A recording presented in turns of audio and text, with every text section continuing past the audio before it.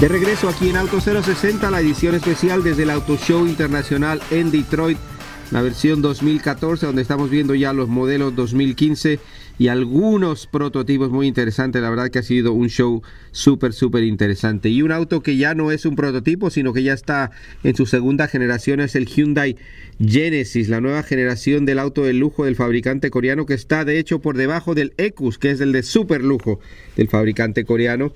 Eh, muchos cambios en este nuevo modelo, eh, mucha más tecnología, más lujo, más desempeño de alto nivel. Así que vamos a hablar con Ricky Lau, que es el senior Product Planner de Hyundai para Estados Unidos sobre el nuevo Genesis 2015. Well, Ricky, uh, thank you for uh, having us here again. Uh, we uh, the last time I saw you, we were driving in Miami in the rain, uh, the new Echo. So, but now here at the auto show in Detroit, you have something completely new for uh, Hyundai, right? Oh yeah, we're really excited to introduce the all-new 2015 Genesis that you see downstairs. So. Yeah, and so tell me about it. Everything new in this car? Yeah, everything is new from the ground up. So obviously, starting with the beautiful design, it's what we call Fluidic Sculpture 2.0, our second generation of fluidic sculpture. And in our new Genesis, it's it's a beautiful execution, distinctive, upscale, and sleek, and you see that in the lines of the car. Yeah. Um, one thing that is very interesting to me is the way you display the car because you cut it off in half. Yes. Uh, what yes. was the purpose of that? I, I think the, the purpose was really to highlight a really some great features of the car, starting with the all new, exclusive to the all new Genesis, really rigid platform. As we all know, that really impacts the handling characteristics of the car, the uh, noise levels, as well as the driving dynamics. And uh, in this particular car, we have what we believe is the stiffest chassis platform in the segment. That's actually has a higher uh, torsional and bending rigidity than the 5 Series. So what we're looking at is class-leading safety and impressive driving dynamics. Yeah. And uh, what about engines? Uh, is there anything new in that in that sense? Yeah, we've actually uh, upgraded um, in terms of our engines. We still have our 5.0 Tau and our 3.8 liter Lambda V6 engine. So those are award-winning engines, and we've actually made some key enhancements to really improve mid and low-range torque response. So everyday drivability has really been enhanced on yeah, automatic transmission for sure, right? Yes, we have uh, our 8-speed automatic transmission that's also been enhanced with uh, faster gear shift change speed as well as uh, new sport mapping and standard paddle shifters on the car now. Yeah, and now, now let's talk about all the mechanic parts of, of, of the cars. Obviously, are very very important.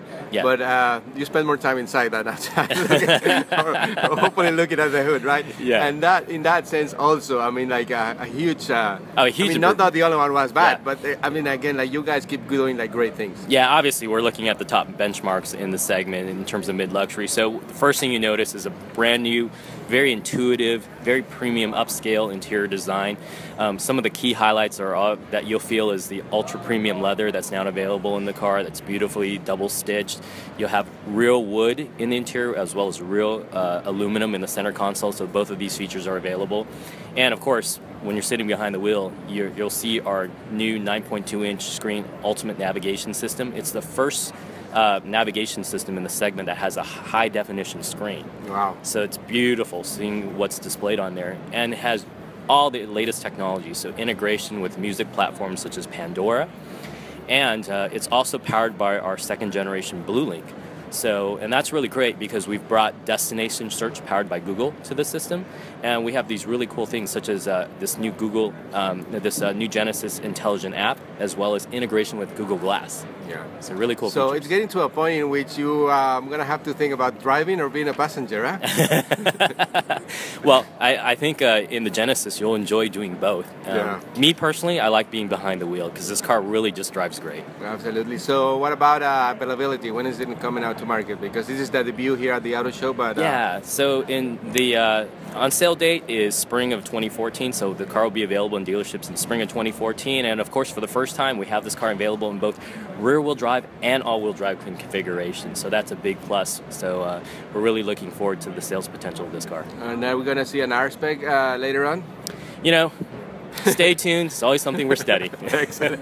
Thank you very much, Ricky, and uh, I hope uh, we go and uh, drive it sometime soon. uh, Definitely, let without, me know. Without rain, huh? Yeah, without rain. Definitely, uh, let me know. Call me up, and we'll we'll take a nice drive on the new Genesis. Thank you very much. Thank you. Bye.